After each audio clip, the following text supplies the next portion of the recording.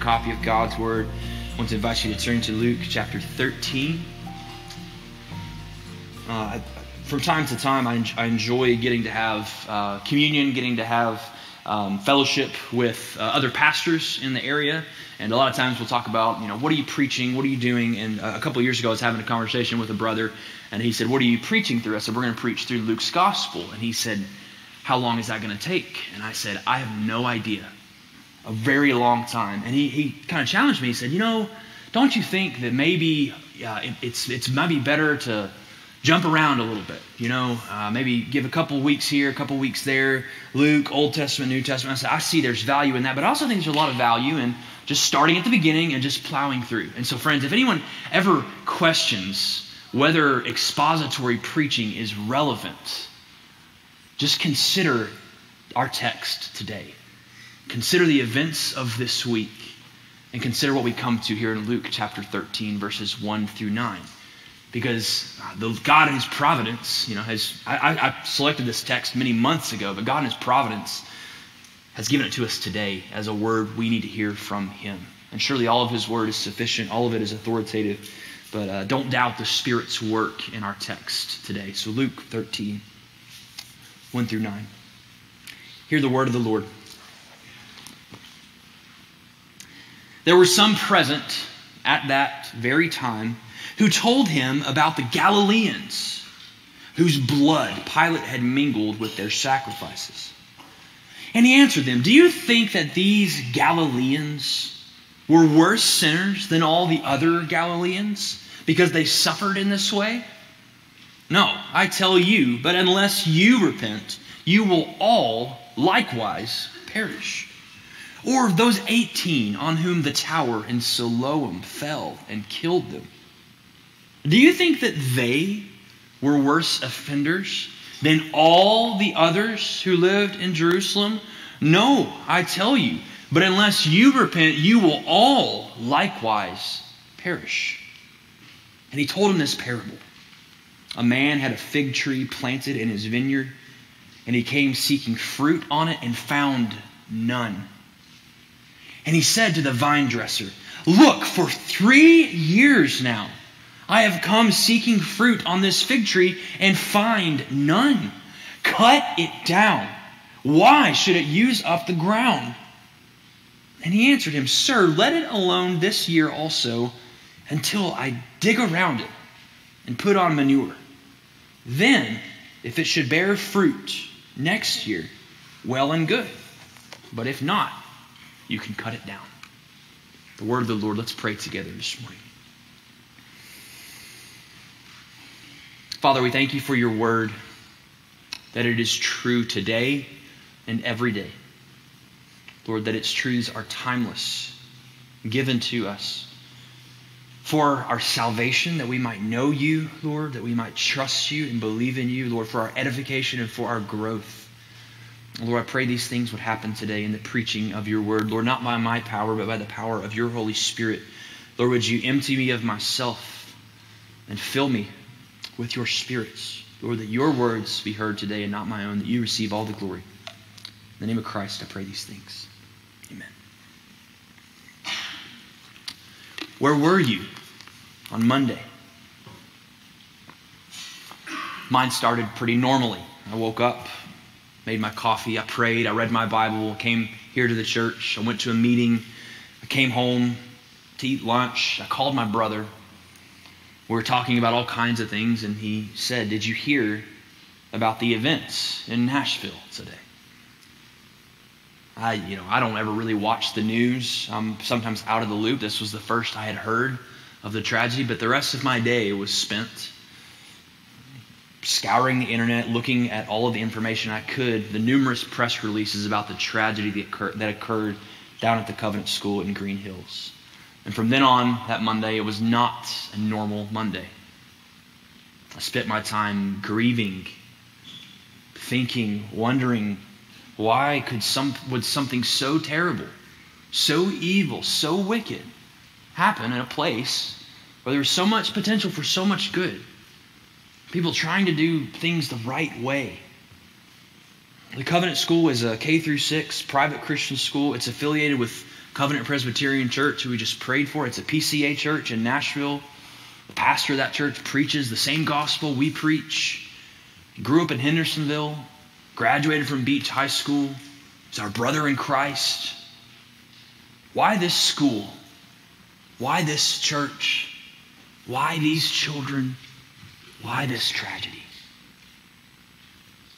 So I sat and I read my Bible and I looked at the uh, headlines. I wondered to myself, what would Jesus say in the midst of all this? What would Jesus say in response to the tragedy that we've experienced this week? Well, friends, as I mentioned earlier, in God's providence, our text today is timely because we are told exactly what Jesus says in response to tragedy. Jesus is asked these very kinds of questions in our text today. But you'll notice Jesus' answer is unique. It's not political in nature, it's not ideological in substance. Jesus does not give a list of things that people are to do in response to this tragedy. No, he really gives us a posture to assume, a way of life to embody. And this posture, this way of life, is repentance. The Christian life is to be a life of repentance from personal sin. Friends, whatever else you might feel in moments like these, whatever uncertainty, whatever questions you might have, and surely they are appropriate, we need to be reminded from God's Word, His revelation of Himself to us, that tragedy should lead Christians to fresh repentance of personal sins. It is so easy to talk about the evils of the world. So easy to talk about the fate of those who've done such terrible things, to speculate about all kinds of motives and things. It's so easy to talk about the evils out there, and it is so hard sometimes to identify the evils that are in here. And this is exactly what Jesus tells us to do in a moment like this repent, or you will likewise perish.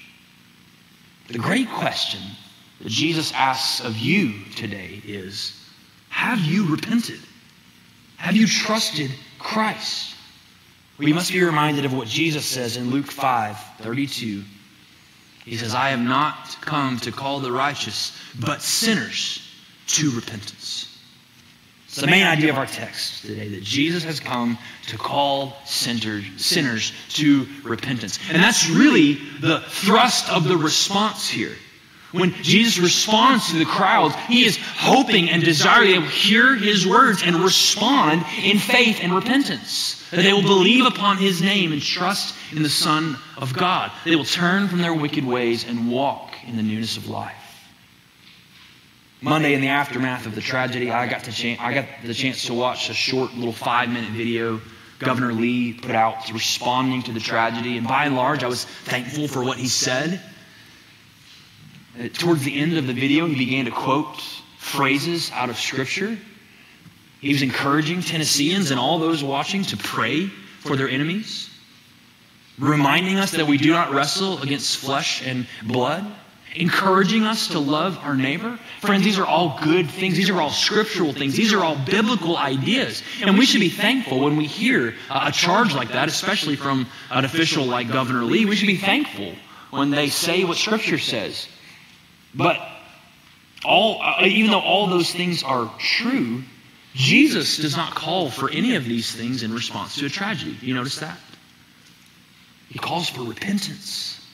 He takes it one step further, he makes it personal.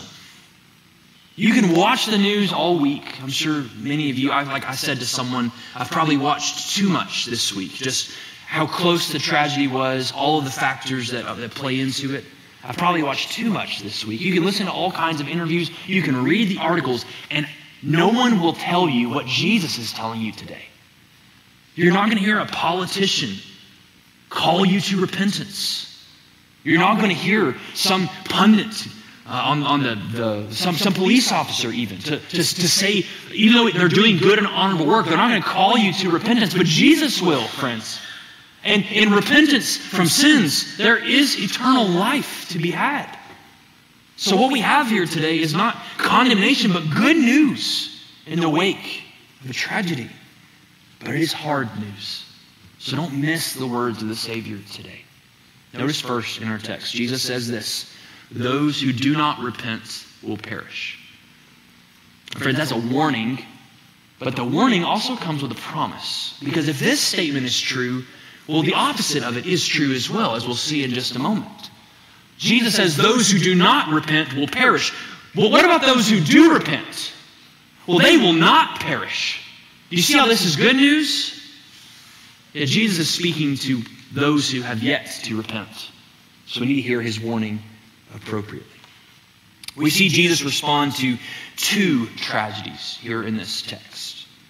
And we have a twofold admonition to repent. You notice that? There's two tragedies that are mentioned.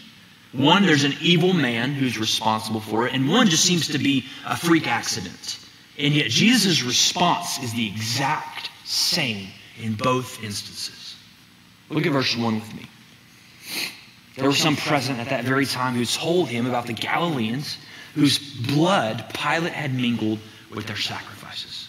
That's a strange verse it's divorced from our context by a couple of millennia. We might be wondering, what in the world are they talking about? Well, apparently, this was breaking news. Apparently, this is something that had just happened recently in the life of the citizens of Galilee. And there were these Galileans who were worshiping at the temple, and Pilate had them executed in the middle of their worship. So the crowds really want Jesus' take on a political matter here.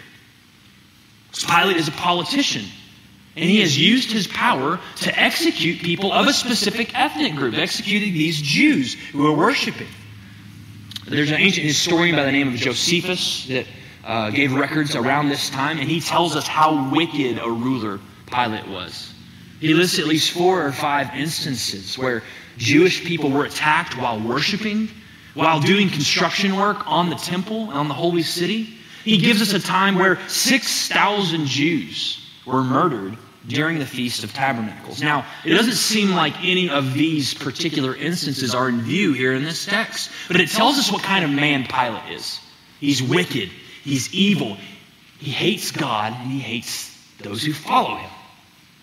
And apparently, this was a small number of Jews. And they were killed, apparently, offering sacrifices at Passover. And while the Jews are offering sacrifices as part of their worship of the Lord, Pilate executes them. So just, just imagine, if you, if you could, that you're there to do your supreme duty as a worshiper of the one true God, as a follower of Yahweh. You've come to bring your sacrifice. And the sacrifice was not cheap, friends, it was costly. And the blood is spilled out upon the altar as an expression that you need forgiveness from your sins. And in that moment, your life is taken from you. Your blood mixed with that same very blood offered upon the altar. It's a tragedy. It's wicked. It's vile. And the Jewish people hated it. They hated that it happened, and they hated Pilate for allowing it to occur, for commanding it to occur, rather. James Edwards, commentator on uh, the Gospel of Luke, he notes that Pilate's actions here express his disdain both for the Jewish people and for their worship of God. He treats the Jews like their sacrificial animals. So you can imagine the rage of the Jewish people. You can imagine the tension. They want to ask Jesus, this great teacher, this wise man, how should we respond to such persecution? Should they retaliate? Should they take up arms against Rome and against Pilate? Further, they're asking this question Jesus, what did these poor Galileans do to deserve this kind of awful death? Blood was unclean to touch, and to have your own blood mixed with the blood of uh, sacrifices. It, it, was, it was the most humiliating, dehumanizing kind of death. Do you note the similarities between our text and Monday?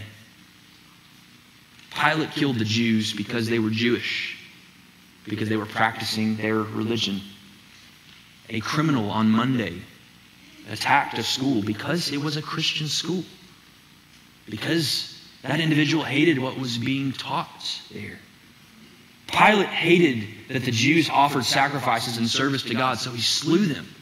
And the criminal on Monday hated that these Christians were offering themselves as living sacrifices to the Lord. So, that individual did what they did. How does Jesus respond to this tragedy? Verse number two. He answered them, Do you think that these Galileans are worse sinners than all the other Galileans because they suffered in this way? Baked into this question is the assumption that these Galileans who died in this terrible way, experienced this terrible fate, they must have been extraordinary sinners. They must have been really bad to have suffered in this particular kind of way. And subtly in this question, this crowd is asking Jesus, Jesus, is, is the same kind of thing going to happen to me? Because of my ethnicity, because of my religious practice. I think the word all in this text is really important. You see, you see it there in verse number two. He, said, he says, Do you think these Galileans were worse sinners than all the other Galileans because they suffered in this way? You notice Jesus' response in verse 3 No. But I tell you, unless you repent, you will all likewise perish. You see, the, the crowds want to ask questions about some people, but Jesus wants to talk about all people. That's an important thing for us to understand. These are timeless truths that Jesus tells us. The crowd thinks that they are not in any immediate danger, but Jesus tells them, in fact, that they are. If they do not repent, that they will perish just like the Galileans perished. Jesus clearly tells the crowds here that the reason that these Galileans died while sacrificing, while worshiping, was not because they were worse sinners than all the rest of the people in Galilee. That's very clear in the text. We cannot assume that because evil or, a, or disaster befalls someone, that that evil or that disaster is necessarily because of their sin. Now, it's clear in the Bible sometimes the Lord sends a plague because of the sinfulness of some people, but that's not always the case, Jesus tells us here. And so Jesus turns the question onto the crowds. And that if you, unless you repent, you will also perish. So the crowd asks Jesus this question Jesus, what happened to them? Jesus turns that on his head and says, what will happen to you? You're so concerned about them. Are you concerned about your own soul? The call here is a call to repent of sin. The crowds are asking if the Galilean sin was so bad as to earn them some kind of tragic death. That Jesus does not really address the sin of those who died, but the sins of those who could hear his voice. And he says, if you do not repent, do not repent, you will likewise perish. Friends, when tragedy occurs, we should repent. J.C. Ryle says this. He says, Let us feel tender pity and compassion for all who suffer violence or are removed by sudden death. But let us never forget to look at home and to learn wisdom for ourselves from all that happens to others. How easy would it have been for Jesus to convince the crowds of how evil Pontius Pilate was. How easy would it have been for Jesus to cause the crowds to pity even more those who were slain while worshiping? This is truly a tragedy, but Jesus tells us about a greater tragedy in this text. It's a greater tragedy to live your life without repenting.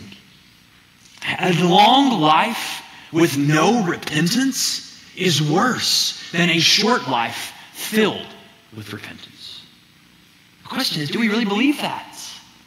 It's one thing to say it, it's another thing to live like it's true. Jesus is saying to the crowds, who I think we understand are not yet followers of Jesus, he's saying, Don't you see you still have time to repent?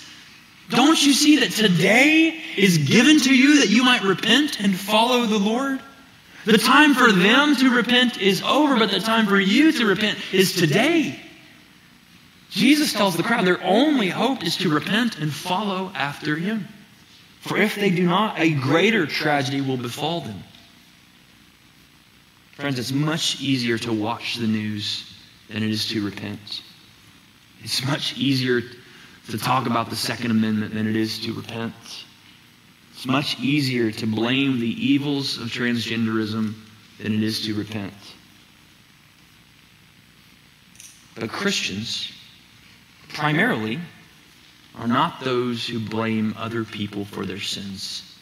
They are those who repent of their sins. The crowd, the crowds wanted Jesus to denounce Pilate for being a wicked ruler. And let's be clear, Pilate was a wicked ruler. You know, saying that we need to repent of our sins doesn't mean that we just cast a blind eye to all those other things, but this rises to the surface. This is the most important thing. Because, you know, if Jesus would have denounced Pilate as a wicked ruler, what that would have done was simply cause the crowds to deflect from the sin in their own hearts. At least I'm not like Pilate. At least I'm not as bad as he is. I can't be as wicked as this evil person. Friends, that's not the way Christians evaluate the state of their hearts. I don't compare myself to other people, to other sinners. I repent because I've fallen short of God's righteousness. I'll speak more plainly about repentance in a moment, just, just to show you that tragedy is an invitation to repent of personal sin sin that the Holy Spirit convicts you of in your hearts. It is a call to follow Jesus wholeheartedly. And we have not one example, but two examples in this text. Look at verse 4. Jesus gives another example. Or those 18 on whom the tower in Siloam fell and killed them, do you think they were worse offenders than all the others who lived in Jerusalem? No. I tell you, but unless you repent, you will all likewise perish.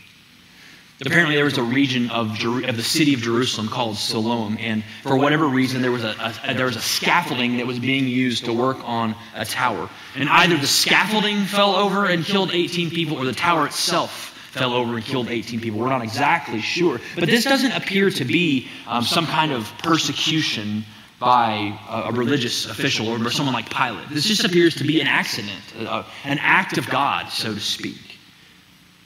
You'll notice Jesus' response is exactly the same. When we experience the effects of living in a fallen world, what are we to do? We are to repent of our sins. Again, notice the alls in this text. In verse 4, Jesus asks the question Do you think these were worse sinners than all of Jerusalem? And then in verse 5, unless you repent, you will all likewise perish. Jesus does not want us to understand our depravity in relation to other people. We are not to recognize that our sins are less heinous than other people's sins.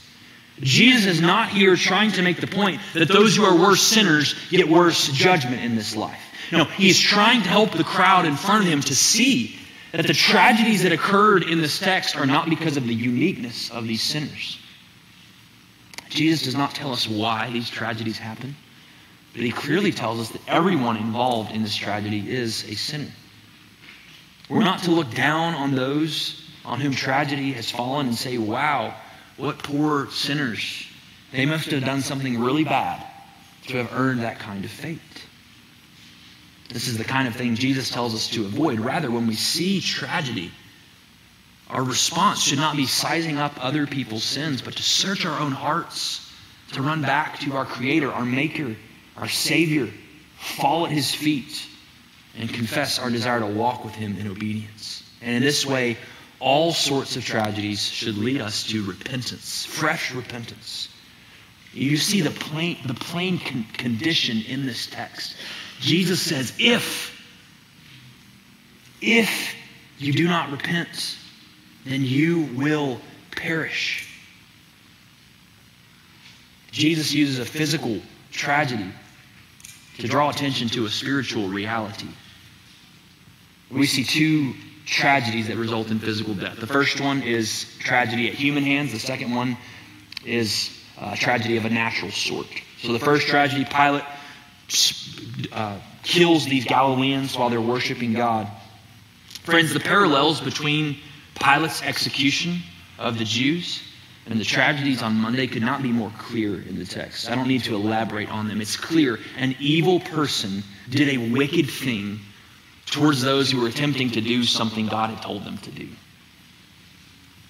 There are few things more honoring to the Lord than attempting to give a child a Christian education. Yet, how would Jesus have us personally respond to a tragedy like that? Before we say anything else, the first thing we need to do is repent. That's the first thing all Christians should do. Repent of your own sin. If you're struggling to find sin in your heart today, oh friend, keep looking. Ask the Holy Spirit to give you discernment because it is there. You must repent of your sin if you are to follow Christ. Repent or you will perish. But notice the second tragedy. It's an act of God. No one necessarily did anything to make the tower fall. This week I was considering the, the poor folks in Mississippi we prayed for last week who suffered the natural disaster. A tornado ripped through the town of Rolling Fork and killed 25 people. Many more lost their homes. I was thinking about this Friday night as I was sitting in front of my TV watching the weather and on my phone, wondering what, what might happen in these moments. Should I go to bed or should I stay up? At the bottom of the TV on the Weather Channel, I was, I was struck by this. It said there were 17 million people under a tornado watch on Friday night. Just think about that 17 million people's lives just hanging in the balance. Friends, what are we to do? We are to repent. If we do not repent, we will perish. We will face some kind of fate much worse than a tornado, much worse than an unjust crime. We are to repent. These disasters are not things that are far from us, they are very near to us. And yet, whether the evil occurs by a wicked sinner or by a natural disaster, Jesus' response is exactly the same repent or you will perish. So you might be asking the question what is repentance? We must understand that Scripture tells us that repentance is not some work that we do to earn God's favor. Rather, it is a result of believing. It's a work of the Holy Spirit of God's grace in us. In Scripture, repentance and belief go together. That is, you cannot repent of your sins without believing Jesus is the Christ and died for your sins. The Baptist Catechism, a 17th century document, says it this way Question 94 of the Baptist Catechism says, What is repentance unto life? The answer Repentance unto life is a saving grace whereby a sinner, out of a true sense of his sin and apprehension of the mercy of God in Christ, does, with grief and hatred of sin, turn from it unto God with full purpose of and endeavor after new obedience. You know, in a, after a crime, after a tragedy, it's really easy to say that we hate sin. But friend, do you hate your sin? Not just the effects of your sin. Do you hate the very act of your sin? Do you hate it like God hates it? Or do we coddle it? Do we say it's not that big of a deal? Jesus says, repent, or you will perish. Repentance is the work of the Spirit whereby we are brought to see our sin as it truly is and turn from that sin and follow Jesus Christ. The reason Jesus told the crowds to repent is because repentance is the first act of following Jesus. When Martin Luther penned his 95 Theses at the start of the Reformation in 1517, the first of his 95 Theses reads like this When our Lord and Master Jesus Christ said, Repent, he intended that the entire life of believers should be repentance. The reason Jesus says that if we do not repent, we will perish is because if we do not repent, we are not Christians. That's not because we earn God's favor by our repentance. But this is the fruit that is naturally born in the life of those who are regenerated, of those who belong to the Lord. So I must ask, in the wake of this tragedy, in the hardship of the moment, have you heard the Savior's voice? Have you repented of your sins? And are you repenting of your sins? Is this a part of your lifestyle? Do you mourn your sin as much as you mourn the effects of living in a fallen world? Friends, these aren't questions I can answer for you. These are conditions or attitudes of your own heart. But search your heart today. Have you come to the Savior by grace through faith, placing your wholehearted trust upon Jesus Christ and on his saving work on the cross of Calvary? Do you believe that when Jesus died upon the cross, he didn't just die for sins, but he died for your sins, for the wicked things you have done, and that he is the only one who can save you? Are you, are you placing your hope in his resurrection today, in eternal life? Friends, Jesus does not mince words here. Repent, or you will perish. But the glorious news of the gospel is that if you do repent, if you can answer those questions affirmatively and say, Yes, I have repented. Yes, I have trusted in Jesus, then can I just tell you what's true for you today, this moment, whatever might happen in the days, weeks, months, and years ahead? John 3 16 through 18. For God so loved the world that he gave his only Son, that whoever believes in him should not perish, but have eternal life. For God did not send his Son into the world to condemn the world, but in order that the world might be saved through him. Whoever believes is in him is not condemned, but whoever does not believe is condemned already because he has not believed in the name of the only Son of God. Tragedies cause us to ask hard questions. Why did God allow this? If God is just, what are we to think of those poor parents grieving today? If God is so good, why is there such evil in the world? Friends, these are all good questions to ask and questions that we should ask. But there is a question that is much more, or just as important, but much more, much more urgent. It comes before all of those questions. And that question is is Jesus Christ your Savior? Before you can begin to ask questions about how a good God could allow such terrible things, you must first answer this question Do you know Jesus? Have you trusted Him? This is so much more important, so much more urgent than those other questions. Because only belief in Jesus will rescue us from perishing. And so Jesus tells us a parable in this text about the urgency of our repentance. Notice, secondly, and more briefly this morning, that those who repent must do so while there is still time.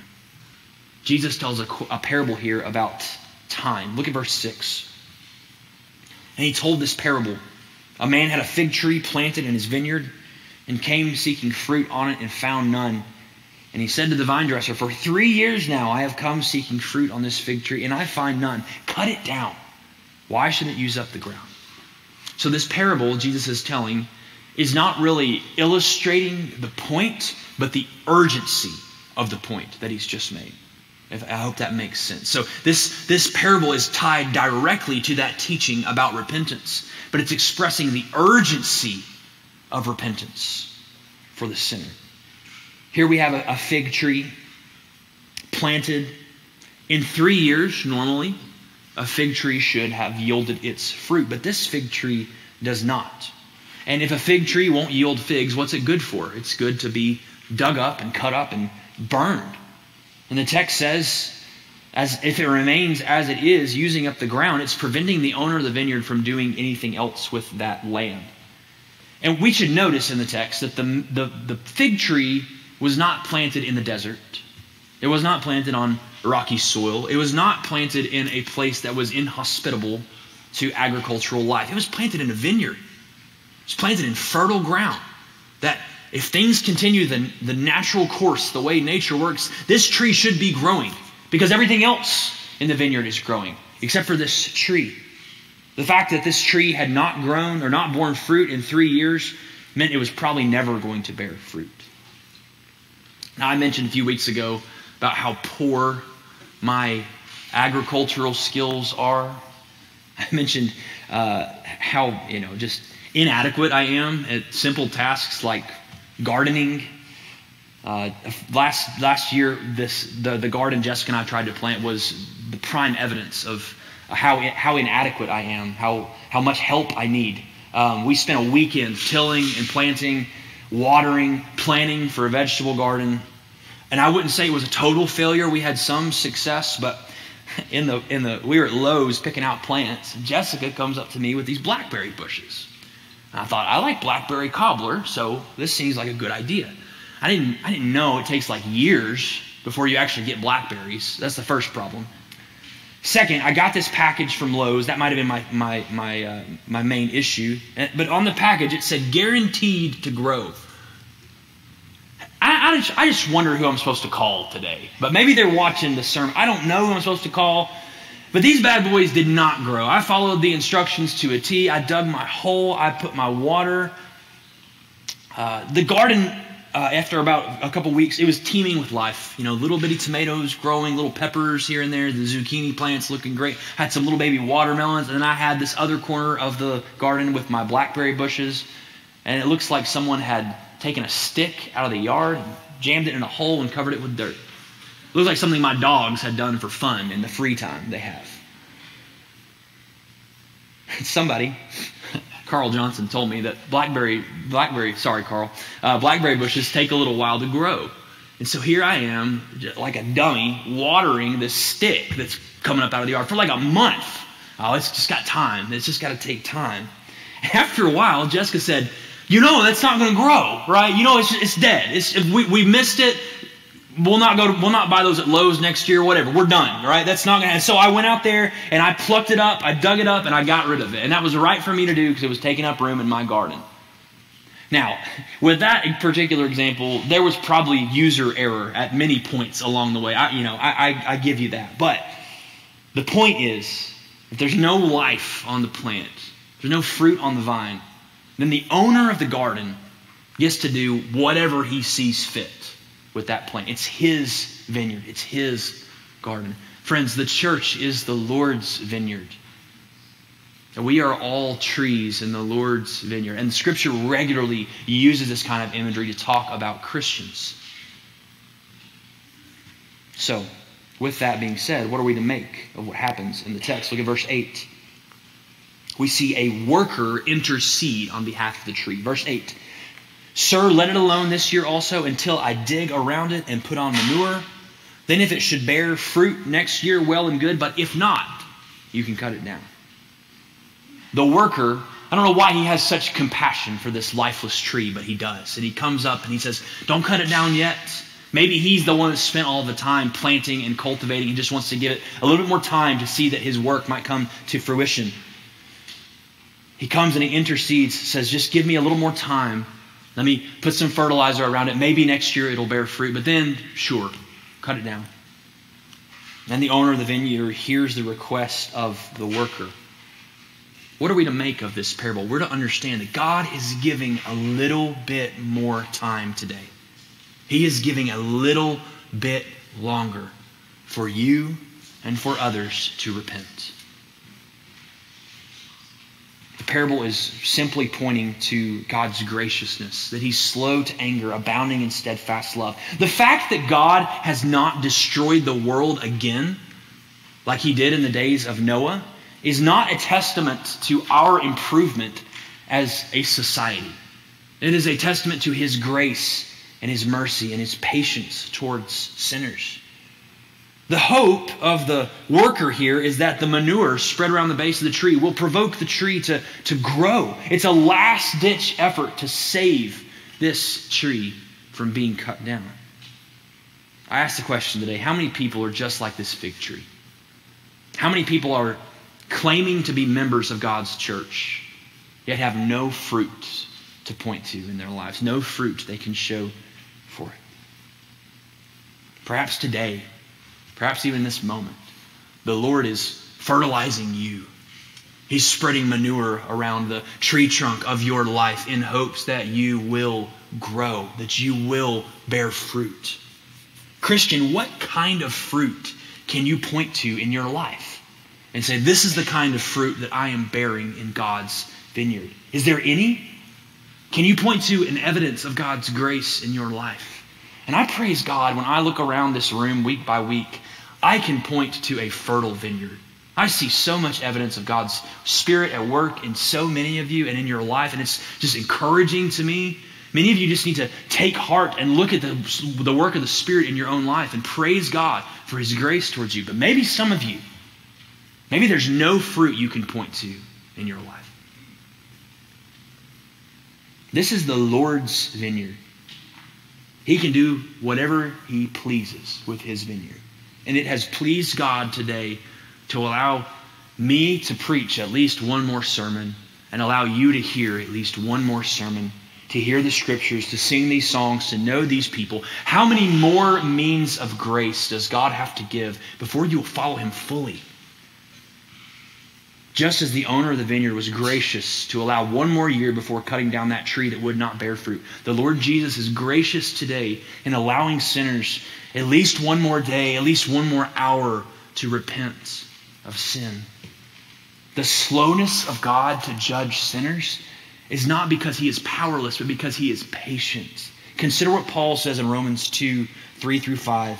He says, Do you suppose, O man, you who judge those who practice such things, and yet do them yourself, that you will escape the judgment of God? Or do you presume upon the riches of his kindness and forbearance and patience, not knowing that God's kindness is meant to lead you to repentance? But because of your hard and impenitent heart, you are storing up wrath for yourself on the day of wrath when God's righteous judgment will be revealed. Friends, God's patience is meant to lead us to repentance.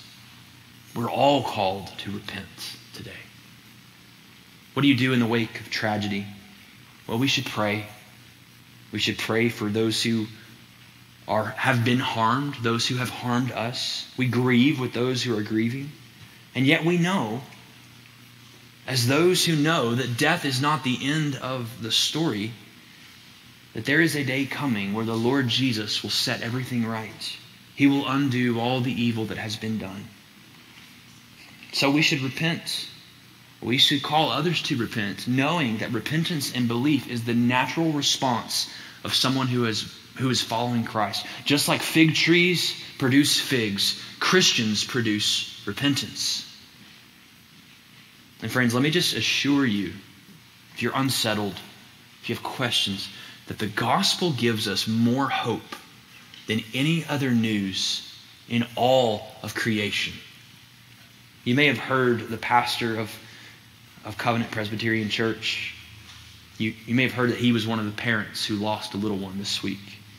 And he was asked in response to the tragedy what, what he was feeling. And he said this He said, Through tears, we trust that she is in the arms of Jesus who will raise her to life once again.